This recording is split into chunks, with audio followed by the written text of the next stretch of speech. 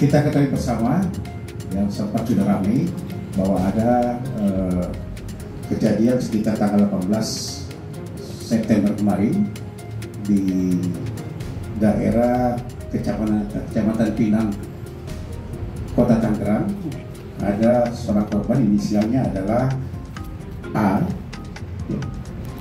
yang ditembak atau mati tertembak di depan rumahnya. Setiap peristiwa pembunuhan, setiap peristiwa pembunuhan yang harus dikaji pertama adalah tentang motivasi. Kenapa orang ini perlu dibunuh? Rekan-rekan menyebutnya ustadz dan lain sebagainya dan lain sebagainya. Jadi saya tekankan di sini bahwa korban adalah paranormal.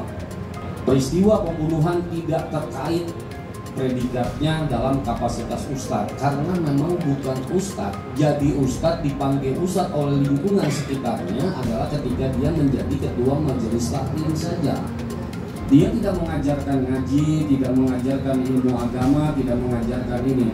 Kita pastikan bahwa yang bersangkutan atau korban adalah paranormal.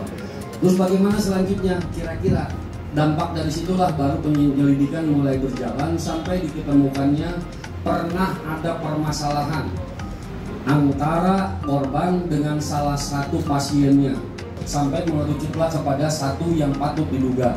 Kemudian berawal dari penangkapan berarti diduga kuat orangnya ini kemudian ditangkap oleh Tangkot di daerah Banten di Serang sehingga didapatkanlah tiga orang tersangka dari empat tersangka. Bagaimana cara membunuhnya? Rekan-rekan sudah tahu ditembak. Dari mana senjatanya? Senjata diperoleh eksekutor dari uh, yang memerintahkan dari yang memerintahkan yang kemudian diserahkan senjata berikut uangnya